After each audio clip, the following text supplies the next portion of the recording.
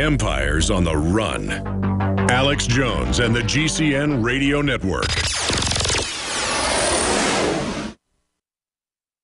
Sold out for weeks due to the difficult and extensive proprietary process behind its creation. The exclusive InfoWars Life Secret 12 formulation is now back in stock in the last limited shipment of 2014, the most bioactive form that has been created with our proprietary process. This ultra-clean vitamin B12 nutraceutical has been carefully crafted and developed over the last two years and is based on cellular science of how your body actively absorbs essential nutrients. Secret 12 is taken by mouth, right on the tongue, and then swallowed. No needles, no injections. Vitamin B12 deficiency is linked to scores of serious problems. And Secret 12 is a fusion of two organic, proprietary forms of vitamin B12, bringing you a true nutraceutical quality vitamin B12. Secret 12. Secret 12 is an excellent Christmas gift and is tailor-made to boost your New Year's resolutions. Supplies of Secret 12 are very limited. Secure yours today at InfoWarsLife.com or by calling toll-free 888-253-3139.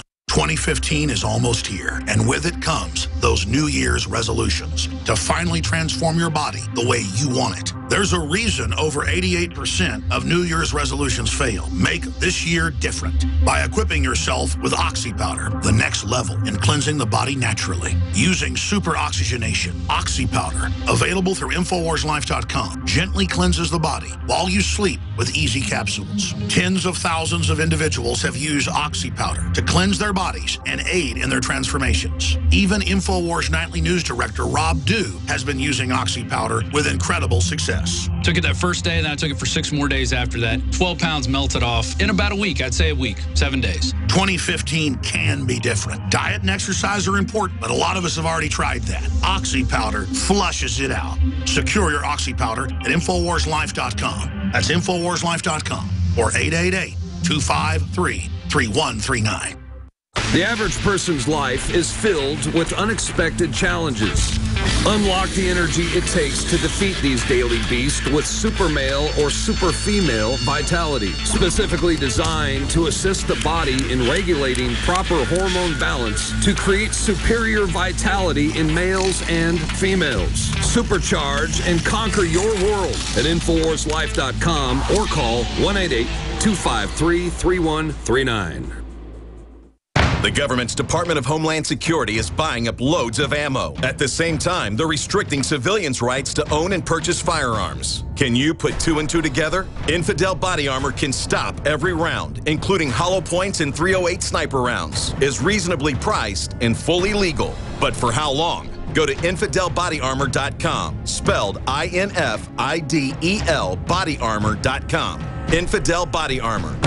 Just won't quit. Live from Austin, Texas, broadcasting worldwide, it's Alex Jones. I know you deceived me, now here's a surprise. Coming up, report feds pressuring more doctors to ask patients about their guns. Ah. Under Obamacare, they now become total agents of the state. That's a Kit Daniels article, just went live at Infowars.com and PrisonPlanet.com. Be sure and spread that out to everybody and get it on Facebook and Twitter. Gun control advocate urges kids to inform on parents turn in their firearms. Yeah, I, mean, they actually have steal the firearms in the video and take them to the police. Talk about super crazy and super dangerous. Also, Walmart, Amazon, Kmart, Sears told to stop selling toy guns by the police in New York, who I guess are the state attorney general. Just thinks he's God. No judge, no jury. And the governor said if you're a gun owner, just get out of the state. Or if you're pro-life, just get out of the state. Speaking of North Korea, I'm going to get Dr. Steve Pieczenik's take on that. He's been to North Korea. He did a lot with South Korea. We're going to get his take on the situation with Russia. He grew up in Cuba, has a very interesting background. We're going to cover the waterfront, just bam, bam, bam with Steve Pieczenik. Uh, but look at these headlines. North Korea's internet is having serious problems. It's already limited to just a few cities, as we showed satellite photos. Only two cities have power. That's being reported by The Verge newspaper. But we're to believe they ran these sophisticated hacking attacks. Well, I said last week, probably staged to bring in a bunch of cybersecurity laws, or it was other hacker groups, uh, and they're blaming North Korea. North Korea responded by saying, we'll blow the whole U.S. up. How about you blow up the whole galaxy while you're at it? They can't even tie their shoelaces, from what I know. North Korea threatens strikes on U.S. amid hacking claims. And they've come out and said that they did not do it and that it's a false flag by Obama. I hate to be agreeing uh, with North Korea, but that's certainly where it points. Sony gets a new threat. Anonymous says hackers aren't Korean. Release film or more hacks coming. Yeah, a bunch of these past hacks have been admittedly not North Korea. Of the Apple Cloud, of, of other major groups. We've got an expert on cybersecurity and somebody that wrote books on it with Tom Clancy, Steve Pieczenik. We're going to cover the waterfront here, Doc. StevePieczenik.com. His new book's out there. You can find it at StevePieczenik.com. Steve Pieczenik Talks is the new book. Uh, but Steve, uh, let's let's get into your take briefly on what's happening with North Korea uh, and this whole move to say we're not going to show Team America, we're not going to show this movie now. Is that just an attempt to set the precedent for the feds to ban movies by fiat?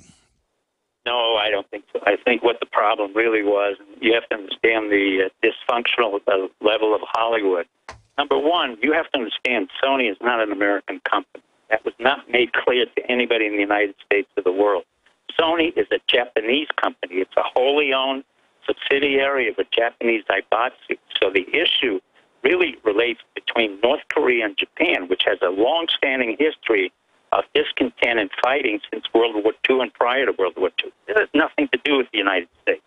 This has much more to do with Kim, Jong Un, Kim Il Sung, who had a long history against the Japanese. And this has to do with Abe and his handling of his economy, his handling of cybersecurity, and where Japan stands relative to Korea. I don't think our own government really understood this in terms of the fact that this is really a Japan versus Korean narrative, not a United States versus a North Korean narrative. The North Koreans can say whatever they want, but they attacked a Japanese company. They did not attack Weinstein Group. They did not attack Warner Brothers. They did not attack an American company. Sony is a wholly owned Japanese company. You know, that's a great point. I was thinking that last week because, I mean, for those that don't know, the Chinese and the Japanese absolutely hate each other, at least from what happened in World War II. Even bigger atrocities by the Japanese in uh, what is now North and South Korea, and they still follow that World War II propaganda that the original, uh, you know, granddaddy came out of, that they're still at war with Japan. They're constantly threatening to nuke Japan. And so you're saying this is Japanese anti-North Korea propaganda? Oh, this is totally between North Korea and Japan. I mean, it's not an accident. They could have put any show that they wanted to. The fact that it was a North Korean semblance of, of the leader. There's all kinds of videos of the North Korean leader that's that's never been hacked. But the real reason is you have two anti-Japanese films coming on. Uh, you know, the one about with uh, uh, what's her name, uh, Angelina Jolie, Unbroken, and then you've got this film which comes as anti-Korean, but comes out of Japan. And the Japanese do not admit to the fact that they've killed hundreds of millions of people in Korea, in Japan, in Vietnam. This is an old story that has never been closed by the Japanese, and the nationalism in Japan has increased because Abe has an economic process problem. And in turn, Kim Jong un is attacking Japan to warn them that this is not going to continue. By the way, much of the money that came out of North Korea came from the pachinko parlors of Japan, the gambling term, and the Japanese don't admit that.